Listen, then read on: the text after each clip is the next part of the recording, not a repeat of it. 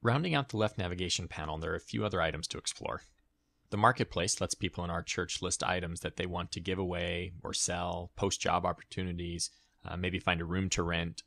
How your church uses the marketplace is really only limited by imagination, and it can be a great way to share resources and provide for material needs within the community.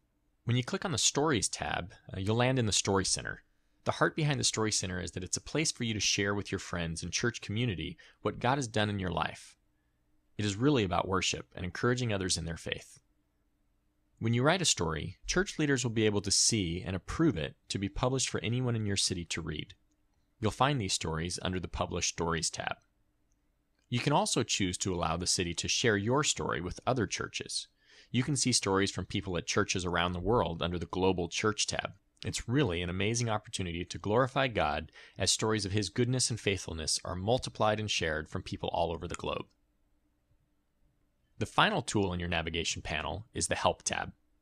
If you're ever uncertain how to do something in the city, or if you're experiencing something unexpected, click here to go to the city's Help Center. You can search for an answer to your question, or, if you need, ask for more help, and you'll be connected to a real person from your church who can assist you.